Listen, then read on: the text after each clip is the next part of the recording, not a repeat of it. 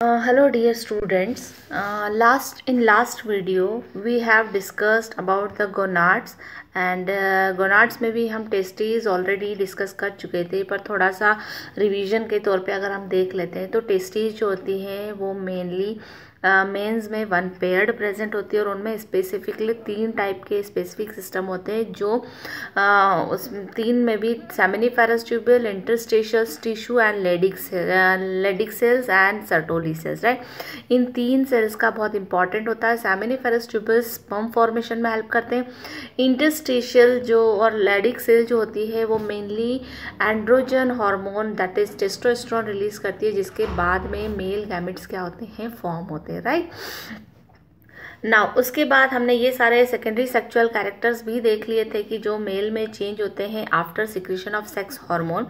now today we will discuss about the ovary right ovary that is a gonads which is found in female right it is a part of female reproductive system और अगर इसकी location हम देखते हैं तो one pair of ovaries which is located in abdomen of female right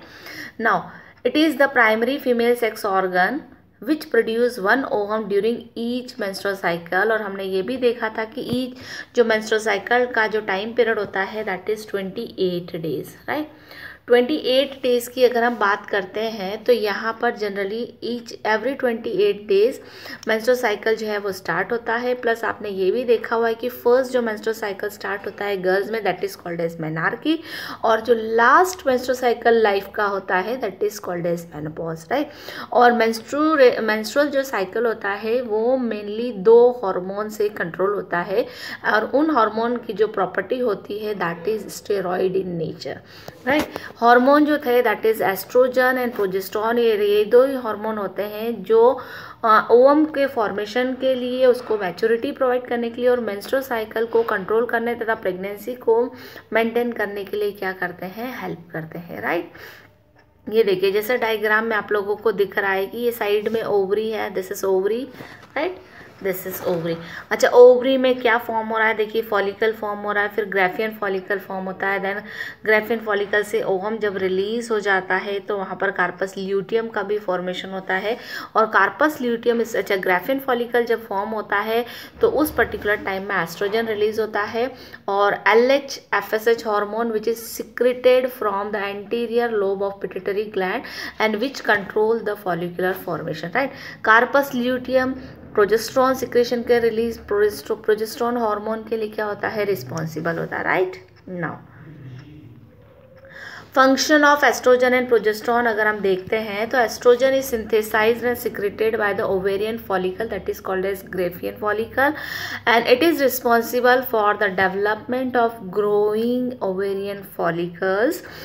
the appearance of female secondary sexual character और जिसी के कारण फीमेल के सेकेंडरी सेक्चुअल कैरेक्टर्स भी क्या होते हैं, डेवलप होते हैं। जैसे कि हमने मेल में देखे थे कि प्राइमरी सेक्स ऑर्गन जो फ़र्स्ट वाला होता है दैट इज़ सेक्स ऑर्गन होता है और सेकेंडरी जो होते हैं, उनमें कुछ चेंजेस होते हैं after puberty after testosterone secretion के बाद में कुछ चेंजेस हमको देखने को मिलते हैं। सेम एज फीमेल में भी जो सेक्स सेकेंडरी सेक्चुअल कैरेक्टर होते हैं एट प्यूबर्टी और वो जो होते हैं चेंजेस होते हैं हैं, पहला हाई पिच ऑफ़ वॉइस जितनी भी गर्ल्स होती है आफ्टर प्यूबर्टी उनका जो पिच होता है वॉल्यूम होता है पिच वॉइस का पिच हाई हो जाता है। और दूसरा उनमें मेन जो डिफरेंस आता है that is development of mammary gland mammary gland है, वो थोड़ी सी क्या हो जाती है इनलार्ज हो जाती है राइट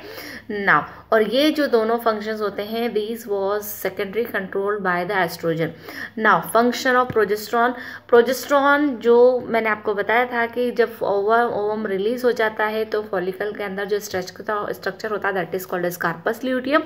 corpus luteum से प्रोजेस्ट्रॉन हार्मोन रिलीज़ होता है और ये its regulate female sexual behaviour बहुत सारे इमोशंस होते हैं, बहुत सारे सेक्चुअल एक्टिविटी होती है जो कि कंट्रोल करता है for the progesterone right it prepares the uterus for the pregnancy भाई, हमें ये भी मालूम है कि प्रेगनेंसी कब कंफर्म होगी कि जब फ्यूजन हो जाएगा मेल और फीमेल गैमिट जब फ्यूज़ हो जाएँगे फेलोपियन ट्यूब में, जब वो एम्पुला सेवन टू जब ब्लास्टूला मोरूला मोरूला ब्लास्टूला जो है वो कहाँ पर पहुँचता है? यूटेरस के अंदर इम्प्लांट होता है तब कंफर्म होती है प्रेगनेंसी बट प्रेगनेंसी के पहले जब ये, और टोटल हमने देखा था कि बाई ट्वेंटी एट्थ डेज़ से first to fourth days menstrual होता है दैन फॉलिकुलर फ़ेज़ होती है, उसके बाद में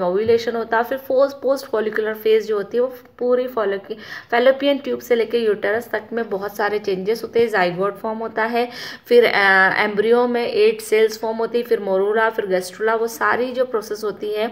उसके बाद में वो यूटरस में ट्रांसफ़र होता है आफ्टर ट्वेंटी एट डेज़ और उसके बाद ही अगर फ्यूज ओवम आता है, तब हम कंफर्म करते हैं that is a pregnancy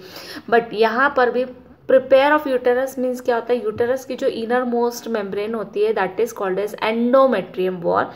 उसकी थिकनिंग जो होती है, वो प्रिपेयर की जाती है by the progesterone secretion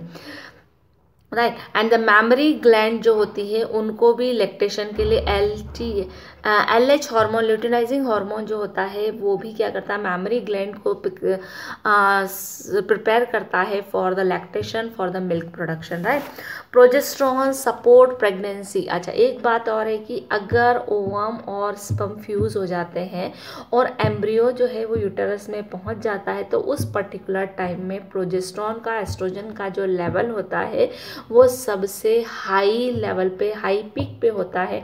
but in case अगर ओवम जो है अनफ्यूज पहुँचता है तो प्रोजेस्ट्रॉन का लेवल ड्रॉप डाउन हो जाता है और उसी के कारण एंड्रोमेट्रियम जो एक्स्ट्रा वॉल प्रिपेयर होती है फॉर द प्रेगनेंसी वो भी डिग्रेड हो जाती है और अनवांटेड जो ओवम अनफ्यूज ओवम होता है, वो भी मैंसुरेशन के ड्यूरेशन में, वो क्या होता है बॉडी के बाहर निकल जाता है। बट इन केस अगर ओवा फ्यूज हो जाता है एम्ब्रियो फॉर्म हो जाता है तो प्रोजेस्ट्रॉन का जो लेवल है, वो कंटिन्यू पीक तक नाइन मंथ तक, जब तक बेबी का बर्थ नहीं होता है, तब तक वो लेवल क्या होता है? मेंटेन होता है। That's why it is called है इसकी प्रोजेस्ट्रॉन जो है, वो प्रेगनेंसी को क्या करता है? सपोर्ट करता है। इन केस कभी कभी कुछ सरकम चांसेस हो जाते हैं और हमें मालूम है कि बेबी कभी ऑटोमेटिकली अबॉर्ट हो जाता है तो उस केस में भी प्रोजेक्ट्रॉन का लेवल जो है वो सडनली क्या जाता है डाउन हो जाता है, उसी केस में वो अबॉर्शन होता है। ना